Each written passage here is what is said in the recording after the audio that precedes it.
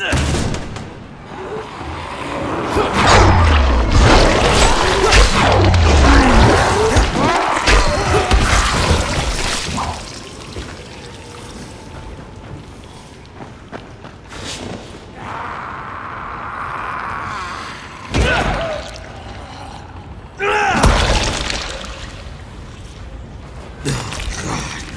Oh,